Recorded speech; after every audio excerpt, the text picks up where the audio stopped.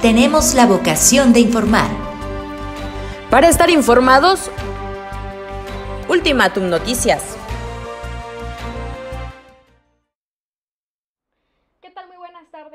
Bienvenidos a Ultimatum Noticias, porque la verdad no puede esperar. Soy Fabiola Camas y comenzamos con la información. Y es que bueno, el día de ayer el candidato de, a la presidencia municipal de Tuxtla Gutiérrez, Willy Ochoa, presentó un video insolente. Le comento, al candidato a la presidencia municipal de Tuxtla Gutiérrez por los partidos PAN, PRI y PRD, Willy Ochoa, respondió ante el IEPC sobre la medida cautelar ante la Fiscalía Electoral y EINE. Y es que así respondió ante un video publicado en su cuenta de Facebook y también evadió los puntos más importantes de la resolución que emitió el IEPC. En el video responde, pues bueno, no responde a los actos de lo que se le acusa, como repartición de tortillas, dinero y bolsas para compras. El candidato pues debe responder a la autoridad y hacer caso de no seguir haciendo actividades anticipadas de campaña. Y es que en el video que le voy a presentar está muy fuera de contexto porque tampoco da a conocer los gastos de campaña. Sin duda, pues no cuenta con argumentos suficientes para defenderse de la parte legal emitida por las autoridades. Este es el video que le voy a presentar que el candidato Willy Ochoa subió ayer a su página de Facebook. Hola, ¿cómo están? Muy buenas tardes. Me acabo de enterar que el Instituto Estatal Electoral quiere sancionarnos. Nos quieren bajar a la mala. Y los entiendo. Somos el proyecto que más simpatías ha generado. Somos el proyecto incómodo para el gobierno municipal, pero también somos la opción que quiere un cambio profundo. Ojalá el Instituto Estatal Electoral comente algo de las presiones que han recibido los empleados del ayuntamiento, del uso desmedido por el actual alcalde que quiere reelegirse en recursos públicos para su campaña. No nos van a detener. Vamos a seguir adelante. Reactivemos Tuxtla. Este video usted lo puede encontrar en la página del face, de Facebook del candidato Willy Ochoa. Y es que aquí, pues no está aclarando le, los actos de anticipados de campaña que el IEPC emitió, pues también, ¿no? Y que bueno, sí, tiene que seguir respetando porque el, inicio de campaña es hasta el 4 de mayo. Y es que el IEPC pues dijo que respetara esta, esta cuestión electoral y no lo ha estado haciendo. Y es que en este video solo pues tacha de culpar a los demás, al demás gobierno de Tuxtla Gutiérrez. Pasando a otra información, el gobernador de Chiapas también esta mañana mencionó que el día de hoy no hay reportes de defunciones por COVID-19. Vamos a escucharlo. A pesar de que las vacaciones de Semana Santa dejaron un saldo de más personas infectadas por el coronavirus en Chiapas, las expertas y los expertos, todas las trabajadoras y los trabajadores de la salud están haciendo un gran esfuerzo. Por eso hoy se reporta cero defunciones por esta pandemia en nuestra entidad y la gente se sigue cuidando. Somos un pueblo resiliente. Así que no tengan ustedes duda, los y las trabajadoras de Chiapas, todos los servidores y las servidoras públicas, estamos atentos a atender la salud encabezados por los doctores y las doctoras. Vamos bien, pero si cooperamos, si nos sumamos todos, vamos a ir mejor.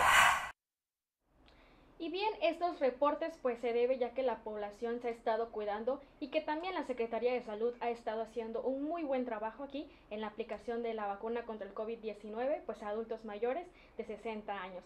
Pasando a otras noticias, pues también anuncian eh, probables bloqueos en Chiapas como medida de presión. Y es que el día de hoy, eh, pues la licenciada Clara Patricia Espino Guerrero es la docente de telebachillerato comunitario y representante del Frente Único de Trabajadores. Y esto fue lo que dijo ante esta entrevista. No nos vamos a mover, el, día de, pues el día de ayer estamos plantados, el día de mañana eh, padres de familia, las comunidades donde hay telebachilleratos comunitarios también van a emprender una jornada de lucha a los padres de familia, pues para pedir la certeza del telebachillerato comunitario y los padres de familia exigen la destitución de la maestra Edalí Álvarez González, coordinadora del telebachillerato comunitario. Pues les recuerdo que estos maestros tienen un plantón sobre la avenida central y también se han estado sumando esta mañana otros trabajadores. Así que si usted va pues a transitar por esta vía, tome sus precauciones porque estas personas pues siguen evadiendo el tránsito vehicular. Y bueno, pasando a otra información, también los miembros de la Escuela Normal Rural de Mactumatzá esta mañana tomaron la caseta de cobro Ocosocuautla Las Chuapas, conocida como Ocuilapa, donde los manifestantes pues acudieron cubiertos del rostro a bordo de un autobús en donde descendieron para advertirles a los empleados que tenían que retirarse porque debían de bloquear el lugar. Estas personas comenzaron a pedir una cuota de 200 pesos a los camiones pesados y 50 pesos a las unidades pequeñas, para así que ellos obtener un recurso para su movimiento. Eh, sin embargo, el motivo de esta manifestación es debido a que no les han autorizado la aplicación del examen Ceneval para la obtención de sus plazas, entre otras peticiones.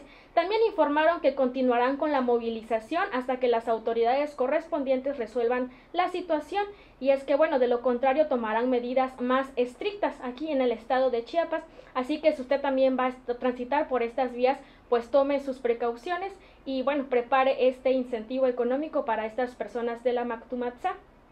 Pasando a otras noticias, también se abre pues un periodo de vacunación de de la vacuna contra el COVID-19 a adultos mayores en Tuxtla Gutiérrez. Estas fechas serán del 28 de abril al 5 de mayo y bueno, se estarán aplicando en el Centro de Salud Urbano de Tuxtla. También se está activando la línea 800 COVID para el registro de personas rezagadas ante la aplicación de la segunda dosis marca Pfizer y bueno, también las personas mayores de 60 años que no han recibido la segunda dosis marca Pfizer, pues se tienen que comunicar a la línea COVID. Le menciono el número, es 800 822 8627. Aquí se va, ustedes se van a poder registrar y pues bueno, les van a dar una cita para la aplicación de esta vacuna. Así que nadie en Chiapas se puede quedar sin vacuna y si usted todavía no ha agendado esta cita para esta aplicación eh, de la vacuna contra el COVID-19 marca Pfizer, pues llame a este número telefónico. Pasando a otras noticias, también maestros jubilados de la sección 40 de la CENTE se declararon a las afueras del Palacio Municipal aquí en Tuxtla Gutiérrez. Para los jubilados es la cuestión económica y no estamos pidiendo que nos aumenten y nos regalen nada. Simplemente el ISTECH hace como dos años actuó unilateralmente sacando a muchos compañeros que tienen el tope salarial y bajándole su salario. Esto en realidad no puede suceder porque nos jubilamos con tope salarial y la constitución marca que no puede haber retroceso en las leyes. Entonces están infringiendo la constitución y están este, eh, pues demeritando el salario. Ustedes tenían un tope, ¿de cuántos salarios un tope salarial, eh, son 10 salarios mínimos diarios. Y quienes también se manifestaron esta mañana, pero a las afueras de las instalaciones eh, de Zagarpa, fueron los pobladores de Soyalo. Vamos a ver esta noticia. Un buen recurso, no tenemos exactamente la cifra, pero sí son como para 500 productores. Ah, sí, exactamente. ¿De qué, productos son los que...? Es el programa de, de bienestar. Ya. Así es. el programa de bienestar. Producción para el bienestar. Así y bueno, también quienes tomaron esta mañana la caseta de cobro eh, Tuxla eh, San Cristóbal fueron los maestros de telebachillerato, ya que esta mañana pues utilizaron o bueno, realizaron un boteo a automovilistas cobrando 50 pesos por vehículo. Afortunadamente, pues horas más tarde ellos eh, desalojaron esta caseta de cobro y bueno, usted ya puede transitar por esta vía libre, ya que no hay eh, pues algún accidente o incidente que estén causando estos manifestantes. Pasando a otras noticias, también ocurrió un accidente de tránsito, esto por no respetar el uno por uno. Vamos a ver esta noticia. Les recuerdo que esta, este accidente, pues bueno, aquí sufrieron cuantiosos daños materiales y fue una persona lesionada el resultado de este accidente. Le comento, ya por no, eh, pues por no respetar el uno por uno. Afortunadamente no pasaron daños, bueno, más severos y solamente el una persona lesionada. Y le recuerdo que estos hechos se registraron sobre la segunda norte y décima poniente. Pasando a otras noticias, también el día de ayer un hombre perdió la vida al interior de un hotel. Este es el Hotel Axcan. Vamos a ver la noticia. La persona es un hombre de aproximadamente 56 años de edad, el cual pues ya fue certificado por los galenos al interior de una de las habitaciones sin vida. hasta el momento se desconoce las causas del deceso.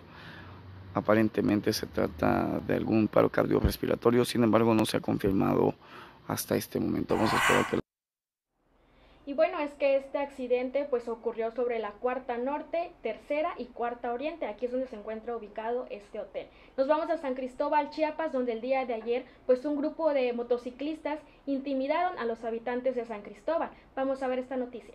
Eso tal ali video kita patile siya. Está que está frente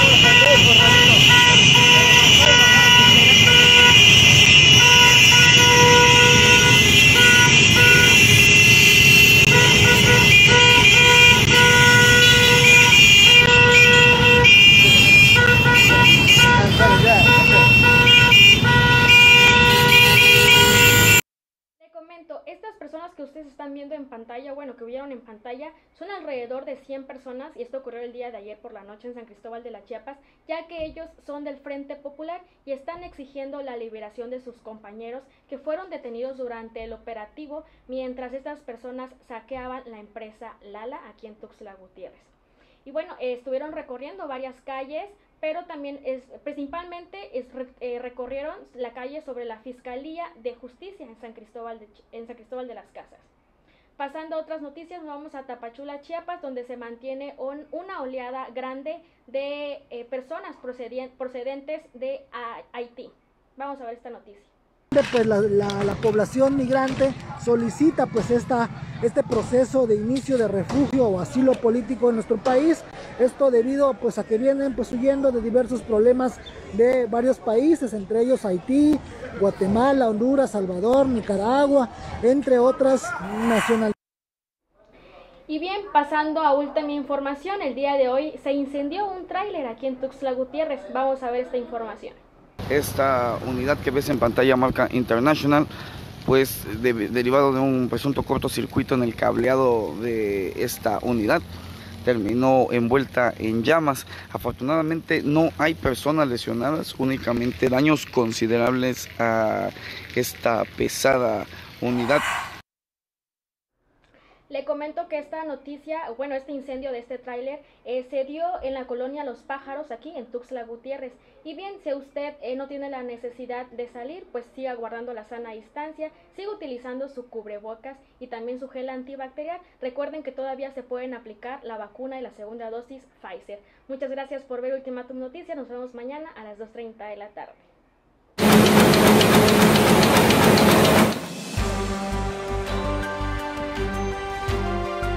Tenemos la vocación de informar. Para estar informados, Ultimatum Noticias.